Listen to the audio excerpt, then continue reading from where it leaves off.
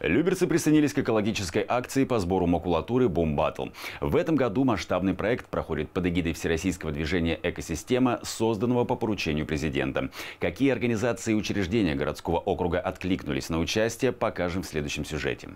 41-я гимназия – один из постоянных участников экологических акций в городском округе Люберцы. И на этот раз, когда во всей стране стартовал ежегодный проект «Бомбатл», она не осталась в стороне. Об активности школьников и педагогов можно судить по этой огромной горе макулатуры. Я собирала макулатуру рядом со своим домом, в подъездах, в магазинах мы собирали буклеты вот, которые выкидываются. Тетрадки, книжки, которые уже потеряли свою актуальность, например, сборники прошлых лет по экзамену. К участию в акции подключились все классы гимназии. За несколько дней дети собрали более тонны ненужной бумаги и тем самым спасли от вырубки около 10 деревьев. Это процесс традиционный. Дети ежегодно собирают несколько раз в год макулатуру, и они понимают, что экологическая акция по сбору макулатуры важна и нужна. Это как раз продолжение темы раздельного сбора мусора. Мы думаем о том, где будут жить и как будут жить наши дети в будущем. Э, мы проводим экоуроки в школах. Все заинтересованы в спасении нашей планеты, в хорошей экологии, потому что у нас воздух один для всех. О важности сохранения природы детям рассказывают и на уроках. В рамках акции «Бомбатл» в гимназии проводят классные часы и беседы, посвященные экологии. И многие из вас тоже приняли активное участие в этой акции. Поднимите руку, кто сегодня принимал участие. Это похлопаем. Спасибо, о пользе вторичной переработки отходов ученики гимназии поговорили и с главой Люберец Владимиром Волковым. Что было 20-30 лет назад?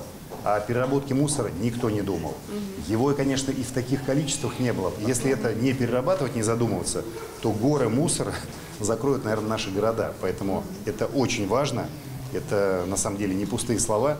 Всего к всероссийскому экологическому проекту присоединилось 18 люберецких школ. Свою лепту в улучшение экологии внесли также 6 предприятий городского округа. В их числе «Текстиль Профи» для компании сбор макулатуры – постоянный процесс. У нас стоят профессиональные пресс-пакеты а, по 18 тонн каждый. Собираем коробки, сами их разбираем, а, чистим, пакетируем, завязываем и отдаем во вторсырье.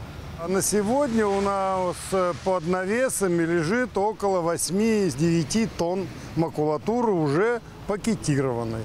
Организацию вывоза макулатуры взял на себя региональный оператор «Эколайн Воскресенск». Совместно с администрацией городского округа компания запустила специальный экологический маршрут.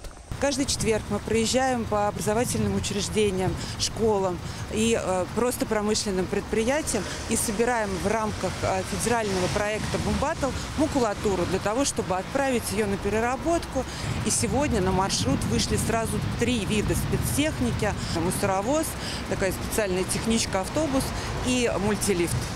Следующий централизованный вывоз из Люберец назначен на 9 ноября. Завершится масштабный экологический марафон 15 числа. Организаторы акции определят лидеров по количеству собранного бумажного сырья в разных номинациях и объявят, какой регион России самый активный. Также участники проекта смогут обменять макулатуру на билет в региональное или муниципальное учреждение культуры. Несмотря на то, что люберцы участвуют в Бумбатле впервые, городской округ претендует на звание победителя.